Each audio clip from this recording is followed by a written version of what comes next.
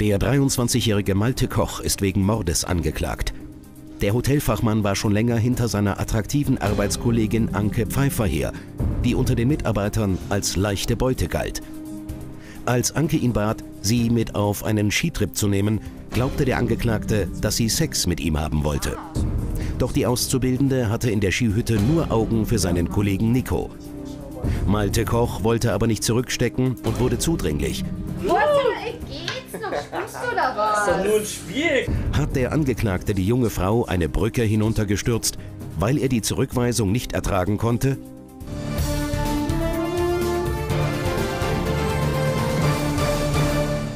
Sie heißen Malte Koch, geboren am 13.09.1988 in Berlin. Sie wohnen jetzt in München, Sie sind ledig, Hotelfachmann und seit dem 9. Januar 2012 in Untersuchungshaft in der JVA München-Stadelheim. Am 7. Januar 2012 folgte der Angeklagte Anke Pfeiffer, als diese kurz nach 21.30 Uhr die Skihütte seiner Eltern in St. Johann verließ. Obwohl die junge Frau dem Angeklagten klar zu verstehen gegeben hatte, dass sie nichts von ihm wollte, bedrängte er sie in einer nahegelegenen Scheune erneut.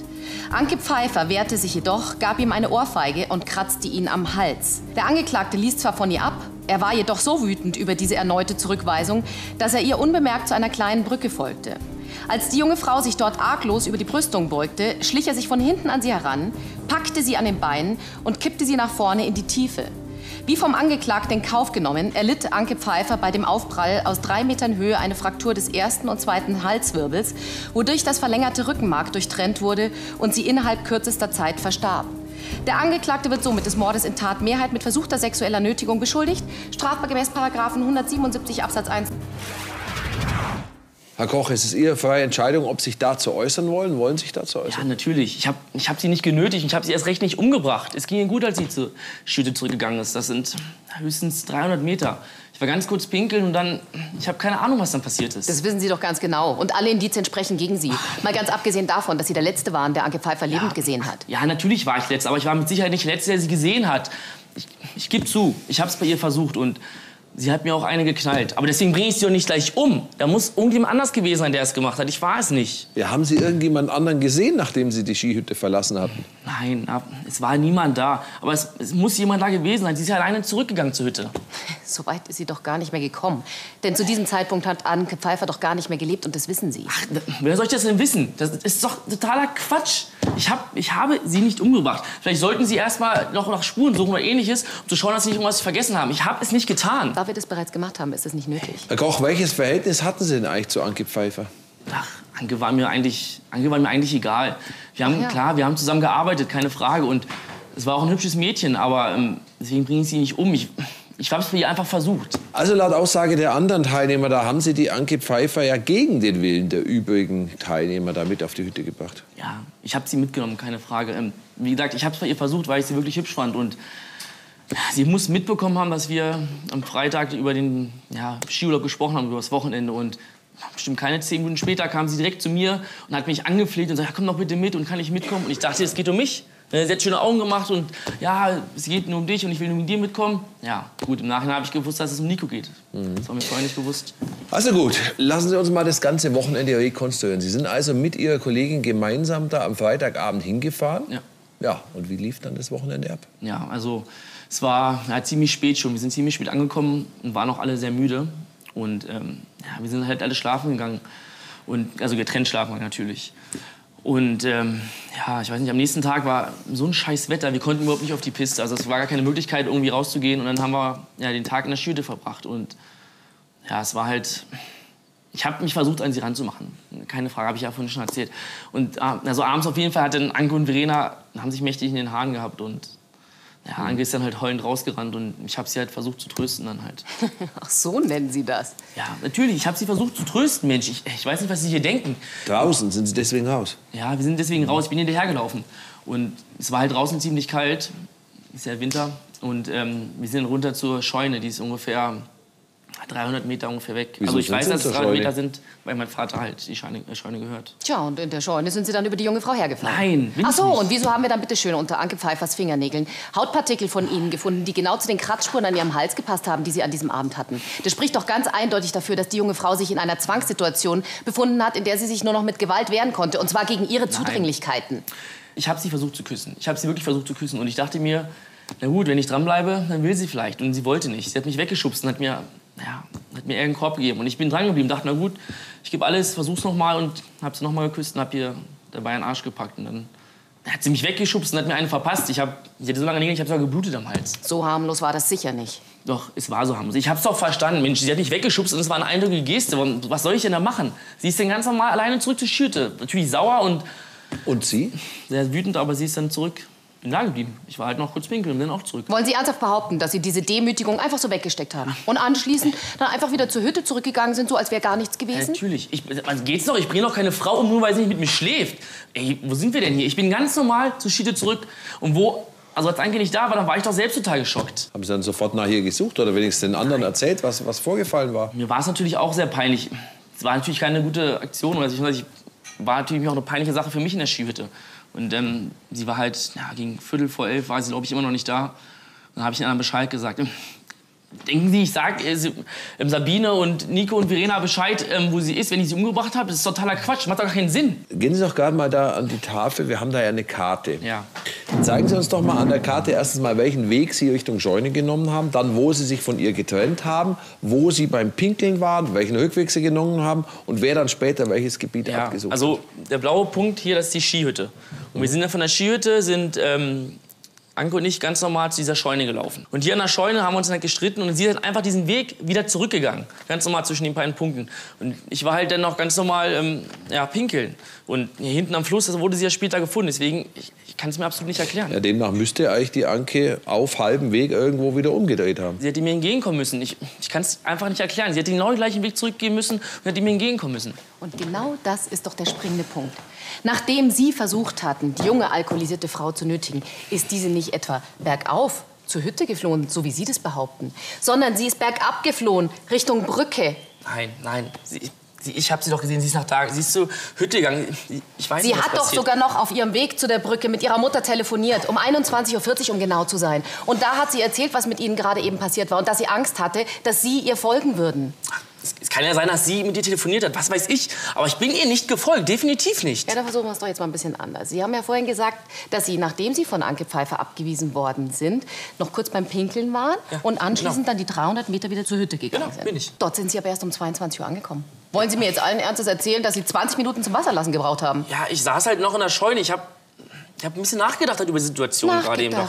Das haben Sie uns aber vorhin ganz anders erzählt. Sie sind doch Ihrer jungen Kollegin hier gefolgt und auf der Höhe der Brücke haben Sie sie eingeholt. Und als sie völlig ahnungslos über das Geländer gebeugt stand, sind Sie doch von hinten an sie rangeschlichen, haben blitzschnell Ihre Beine gepackt und sie über das Geländer in die, Brück, äh, in die Tiefe gestürzt. Nein, das können Sie mir nicht anhängen. Definitiv nicht. Es war nicht so. Das hängen Sie mir bestimmt nicht an. Ich war genauso geschockt, als ich zurückgekommen bin. Und ich weiß genauso wenig, was ist mit Anke wie mit den anderen Personen. Ich habe keine Ahnung. Wir wissen es alle nicht. Wo haben Sie und Ihre Freunde denn nach Anke Pfeiffer gesucht? Ja, also wir haben uns halt aufgeteilt und ähm, Nico und ähm, ja, Sabine sind halt hier am Wald gucken gegangen und Verena hat halt die Straße genommen nach hier unten und ich habe halt hier links ist noch so ein Weg oder beziehungsweise neben dem Wald ist noch so ein Weg, den ich abgesucht habe, dass man halt von allen Seiten gucken kann, wo sie ist. Verena Jentsch ist also genau bei ihrer Suche die Strecke abgelaufen, die sie unweigerlich zur Brücke und zum Tatort führte, richtig? Genau, sie hätte genau lang gehen müssen. Herr Vorländer, worauf wollen Sie hinaus? Ich will darauf hinaus, dass ich davon ausgehe, dass Anke Pfeiffer noch gelebt hat, als ihre Arbeitskollegen mit der Suche angefangen haben. Irgendwann auf dem Weg zur Hütte zurück hat sie wohl beschlossen, dass sie nicht dorthin zurück möchte. Vielleicht unter Umständen, weil sie meinem Mandanten nicht über den Weg laufen wollte. Vielleicht aber auch, weil sie immer noch sauer war auf Verena Jentsch. Wegen der hatte sie die Hütte ja verlassen, Frau Schrank. Sie wusste von Verena Jentsch, dass die einen unglaublichen Hass auf sie hatte, weil sie sozusagen daran schuld war, dass diese Frau Jentsch ihren Ausbildungsplatz im Hotel verloren hatte. Ich kann mir schon vorstellen, was jetzt als nächstes kommt. Sie wollen Verena Jentsch als Täterin ins Spiel bringen, oder? Es gibt aber überhaupt keine Spuren, die diese junge Frau irgendwie in Verbindung mit dem Tatgeschehen bringen. Also, dass, dass es Verena war, ich kann es mir auch nicht vorstellen. Also, das wäre einfach zu krass, wenn die sowas machen Ja, würden. aber trotzdem ist es doch höchst seltsam, dass sie das Opfer bei ihrer Suche übersehen haben möchte. Nein, Frau Schrank, ich gehe davon aus, dass sie ihre ehemalige Arbeitskollegin da auf der Brücke lebend antraf. Dass es wiederum zum Streit zwischen den beiden Frauen kam und infolgedessen das Opfer dann über das Brückengeländer gestürzt ist. Ja, und was führt Sie zu dieser Annahme? Das wäre auch. Sollten Sie mal drüber nachdenken. Nee, das, das kann ich mir. Ach, Vielleicht können Sie mir erklären. Nein, also Ve- Verena und Anke, klar haben die sich nicht gemocht und Verena ja, war auch nicht immer sehr gut zu sprechen auf Anke, aber dass sie sie umbringt, das wäre, also ich kann es mir absolut nicht vorstellen, das wäre einfach zu heftig. Soll sich mal beruhigen. Ja, wir kriegen das schon hin. Wenn er sich nicht gleich hinsetzt. Nico, kannst du mal bitte hierher kommen? Du machst mich ganz wahnsinnig. Mensch, Verena. Wir müssen Malte irgendwie rausholen, ey. Das, ich mein, er hat doch nichts gemacht. Weißt du es? Warst du dabei, als die unterwegs waren? Ich meine mal ganz ehrlich, warum hat er die blöde Kuh überhaupt mitgenommen? Der denkt echt nur mit seinem Schwanz. Der Mann, Malte ist unser Freund, ja? Wir können doch nicht einfach so hängen lassen, okay? Ganz ehrlich, wir, wir, müssen, ihn- wir müssen ihn einfach irgendwie da rausboxen, ja? Sabine, du auch. Jetzt hört auf, ich, ich weiß ja überhaupt nicht, was ich da drin gleich sagen soll. Anke ist tot, okay? Irgendjemand hat sie umgebracht und, und ihr streitet euch wegen Malte. Scheiße, ja, du hast ja recht. Tut mir leid. Sorry. Ich muss immer wieder an Anke denken, wie sie, wie sie da lag. Ich, ich kann einfach nicht mehr. Ich, ich weiß ja, dass sie ein Missstück war, aber sie, sie war auch unsere Kollegin und irgendjemand hat sie da umgebracht und wer weiß, was mit ihr auf der Brücke passiert ist und was, wenn es einen von uns getroffen hätte. Ja, aber genau deswegen darf Malte doch nicht unschuldig ins Gefängnis. Also, ich meine, bitte, der ist doch kein Killer. Ganz ehrlich, wenn Malte mir sagt, dass er Anke nicht umgebracht hat, dann glaube ich ihm das auch, ja? Und ihr beiden, ihr solltet das auch tun, echt? Ah, Nico, komm jetzt einfach mal bitte ein bisschen runter. Sabine geht's echt mies. Wir müssen nur zusammenhalten, dann holen wir Malte da auch raus, okay? Ja, ja, okay, okay, wird schon, wird schon. Oh Gott, nicht hinschauen, da kommt die Mutter von der einen. Ich starte uns aber direkt an. Wahrscheinlich hasst sie uns. Bloß nicht die Nerven verlieren, okay? Romy Pfeiffer, bitte.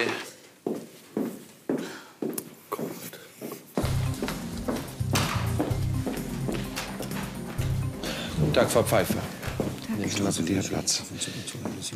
Ich muss jetzt erst belehren, dass Sie als Zeugen die Wahrheit sagen müssen. Wer was Falsches sagt, macht sich strafbar. Sie heißen Naomi Pfeiffer, 47 Jahre alt. Sie wohnen in München. Sie sind ledig. Tierärztin, verwandt oder verschwägert sind Sie nicht mit dem Angeklagten. Ich weiß, dass es alles heute sehr schwer für Sie ist. Zunächst einmal unser allerherzliches Beileid. Danke. Jetzt haben Sie am 7. Januar zweimal mit Ihrer Tochter telefoniert. Ja, also Anke hat.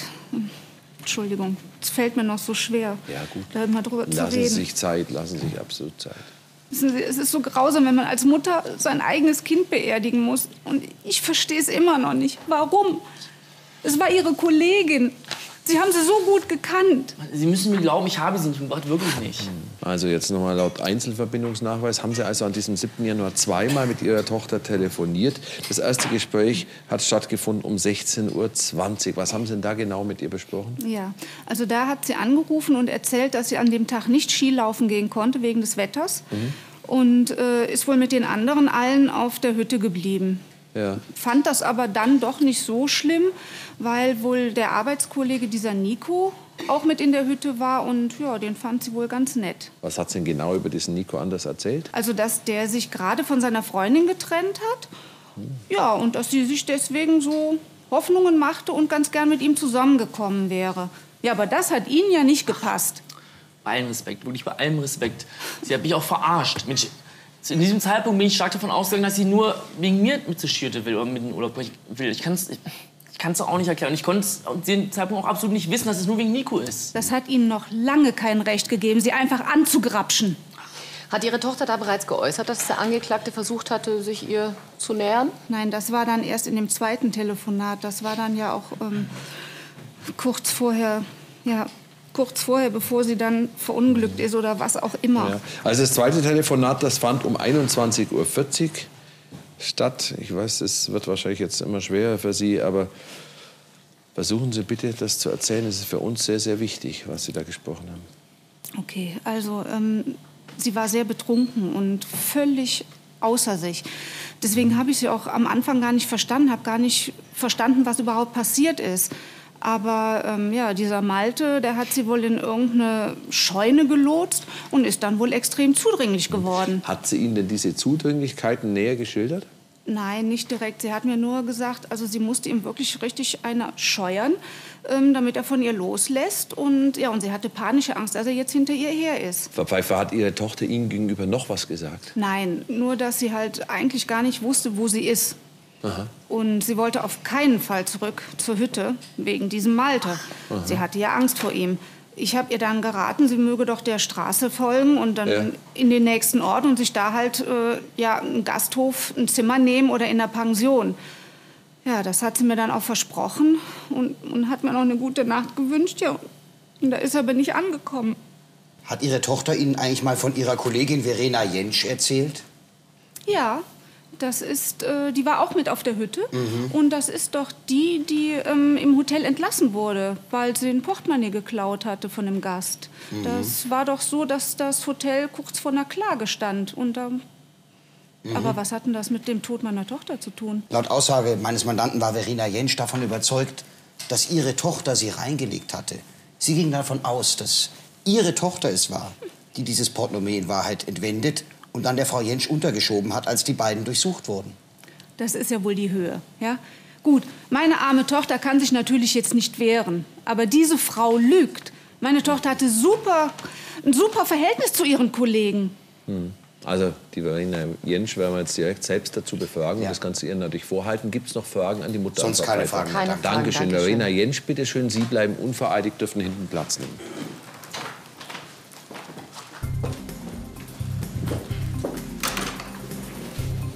Guten Tag, Frau Jentsch. Nehmen Sie mal bitte Ihr Platz. Ich muss Sie belehren, dass Sie als Zeugin hier die Wahrheit sagen müssen. Wer was Falsches sagt, macht sich strafbar. Vorsorglich 55 StPO belehre ich Sie auch. Sie müssen auf Einzelfragen nicht antworten, wenn Sie sich selbst belasten könnten. Sie heißen Verena Jentsch, 21 Jahre alt. Sie wohnen in München und Sie sind ledig. Sie hatten ja eine Ausbildungsstelle zur Hotelfachfrau. Da sind Sie aber gekündigt worden, sind Sie entlassen worden. Ja? Ja, Verwandt, verschwägert mit dem Angeklagten sind Sie nicht. Sie waren an dem Wochenende vom 7. auf den 8. Januar auch mit auf dieser Skihütte da in St. Johann, Tirol. Mit Kollegen, ehemaligen Kollegen. Genau, ja, ich bin ja jetzt leider arbeitslos. Also wir sind zusammen da in der Hütte gewesen. Äh, ich muss sagen, wir haben zusammen im Hotel gearbeitet. Wir sind aber auch sehr gute Freunde. Und aufgrund dessen weiß ich, dass Malte das nicht gewesen sein kann. Also das muss, da muss irgendwer anders gewesen sein in den Bergen, der da Anke überfallen hat, als sie da alleine rumgelaufen ist. Ich kann es mir nicht erklären. Haben Sie im Verlauf des Abends irgendjemand, irgendeinen Fremden in der Nähe der Skihütte oder irgenddort wo gesehen? Nein, also wegen des schlechten Wetters waren wir ja auch kaum draußen. Wir haben drinnen gefeiert. Das war ja quasi meine Abschiedsparty, weil ich vom Hotel gefeuert worden war. Haben Sie eigentlich Anke Pfeiffer persönlich zu Ihrer Abschiedsparty eingeladen? Nein, Warum nicht? das hat sich eben nicht so ergeben. Aha. War es nicht eher so, dass mein Mandant einfach, ohne Sie irgendwie vorher zu fragen, die Frau Pfeiffer einfach so mitgebracht hat? Und dass Sie darüber extrem verärgert waren, weil Sie dem Opfer die Schuld an Ihrer Kündigung gegeben haben? Ja, super, was hast du denn noch alles erzählt? Das geht doch niemandem was an. Ja, ich meine, natürlich war ich nicht gerade überglücklich, als er da mit Anke ankam, aber ich. Trotzdem, also ich meine, ich habe mich schnell wieder eingekriegt. Ich wollte mir von ihr nicht das Wochenende versauen lassen. Also ich denke nicht, dass Sie so gelassen und relaxed waren.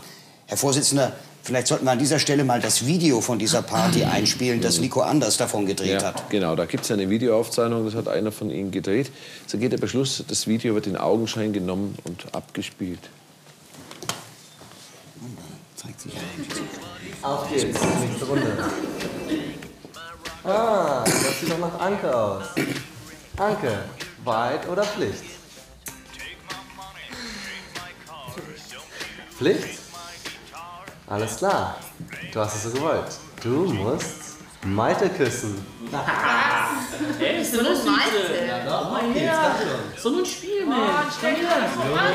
Als wäre was Neues für dich. Knutscht auch sonst auch mit jedem. Komm schon, Anke, auf geht's. Oh, ist aber nicht oder was? Was ist denn los mit dir? Das ist ein Ey, bin so voll Idiot. Aber war geil, war geil. Du bist echt so scheiße. War nur ein Spiel, mehr nicht. Also, ich weiß nicht. War es auch nur ein Spiel, als Sie Anke dann in der Scheune versucht haben, sexuell zu nötigen? Und war es wiederum nur ein Spiel, als Sie sie dann über das Brückengeländer gestoßen haben, bloß weil sie nicht mit Ihnen schlafen wollte? Also ich bitte Sie, das Video zeigt doch nur, dass mein Mandant ein sexuelles Interesse an Anke Pfeiffer hatte. Sehr ausgeprägt Das bestreitet er ja übrigens auch gar nicht. Aber es zeigt Ja. nicht, dass er sie möglicherweise irgendwie zum Sex zwingen wollte. Und es zeigt erst recht nicht, dass er Frau Pfeiffer in irgendeiner Form töten wollte. Ne, sehen wir es uns doch mal bis zum Ende an. Also, Wahrheit oder Pflicht? Wahrheit. Na, dann kannst du es ja zugeben jetzt. Warst du das? Hast du dem Hotelgast sein Portemonnaie geklaut und hast dafür gesorgt, dass ich fliege? Das ist völlig oder was? Natürlich hab ich das nicht gemacht. Was weißt du, gepleitet du bist? Das ist doch jemand auf die Nase gegangen. Und dass du dämlich bist und das Portemonnaie von dem Gast klaust. Ey, sag mal, jetzt reicht's! Geht's doch, oder Schlampe! Ganz ehrlich, was hast du gemacht, wenn mit der Chef geklaut? Warst du mit dem im Bett? Genauso hast du auch deinen Ausbildungsplatz bekommen. Erzähl mir doch keine, du gehst doch mit jedem ins Bett. Wie gehen das gut sein? Was soll das Wie das denn? gut sein? Entschuldige mal bitte, warum verteidigst du die blöde Kuh überhaupt? Sie will überhaupt nichts von dir. Dass du sie hier angeschleppt hast, ey, das ist mein Abschied, meine Party. Das allerletzte, echt. Ja, dann tschüss, verpiss dich doch. Ganz stark von dir. Hast du super hingekriegt. Ohne Scheiß. genau. Überleg mal ein bisschen vorher. Nee, ist klar. Mensch, sag mal, willst du mich verarschen? Lass das, du Blödmann. Also meine Tochter hat überhaupt niemanden bestohlen. Und den Ausbildungsplatz hat sie ganz normal bekommen. Die hat sich beworben wie jede andere oder jeder andere auch. Ja, ist klar. Nur hatte sie ein bisschen bessere Argumente. Jetzt reicht's bestimmt aber. keiner eingestellt, weil sie so ehrgeizig war. Während wir uns den Arsch abgearbeitet haben, hat Anke sich doch nur ihre Nägel lackiert. Also, Sie gehen ja jetzt noch auf die Palme, wenn Sie an Anke Pfeiffer denken. Ja und? Wie auf dem Video ja mehr als deutlich zu sehen war, haben Sie Ihre Kollegin gehasst. Und es wurde auch deutlich, warum, nicht wahr? Das zeigt doch ganz deutlich, dass Sie ein viel stärkeres Motiv hatten, Anke Pfeiffer zu töten. Okay, okay, sie ist tot und ich gebe zu, es stört mich nicht gerade. Ich meine, immerhin hat sie mich aus dem Hotel gemobbt. Wir hatten zusammen Zimmerdienst. Ich sollte mich um die Betten kümmern und das Bad putzen, während sie staubsaugen und aufräumen sollte. Ja, und als wir dann schon fünf Zimmer weiter waren oder so, da kam der Typ aus der 302 dann angerannt mit unserem Chef im Schlepptau und meinte dann Tatsache, dass wir durchsucht werden sollten. Ich habe keine Ahnung, wie Anke das hingekriegt hat, aber irgendwann muss sie das Portemonnaie in meinen Eimer getan haben. Als Ihr Chef es dann bei Ihnen gefunden hatte, da wurden Sie dann gefeuert, nicht wahr? Ja, er hat mir nicht geglaubt. Umso mehr muss es Sie doch geärgert haben, als mein Mandant dann ausgerechnet diese Frau mit auf die Hütte gebracht hatte. Ja, natürlich. Ich, ich war stinksauer, dass er die linke Bazille damit hingebracht hat. Aber deswegen habe ich Anke doch nicht umgebracht.